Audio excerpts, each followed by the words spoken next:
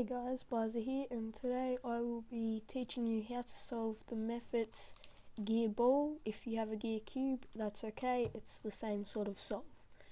Um, now, I'm pretty sure there's only three algorithms to solving it, so let's get to it.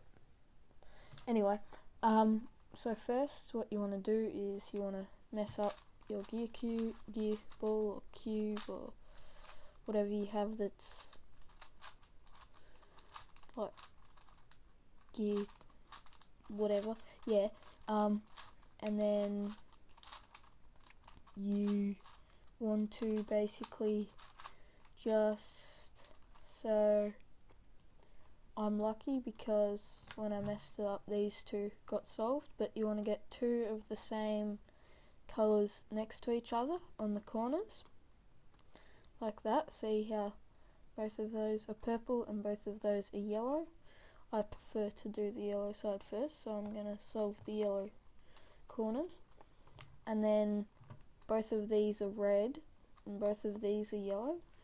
So all you need to do for this is a 180 degree turn and it goes up to there and then they're not lined up and that one's gone to the right position, but these aren't lined up, the sides. So you turn it to um, when they're lined up. And what now what you want to do is you want to find two that need to switch. So these two here need to switch. So you got to go.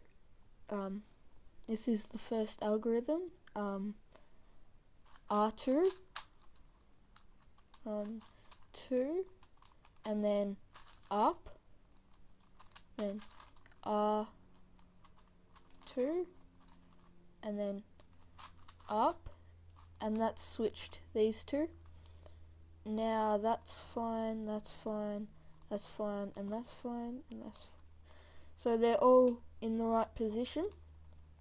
Now if you're not that lucky uh, what you got to do is you've got to um, you've got to do it for all the pieces that need to be switched.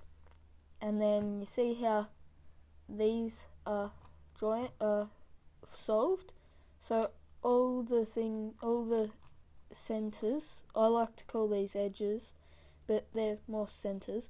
These edge parts will be solved in that slice so you hold it horizontally from you, and then you go R, U, R, U,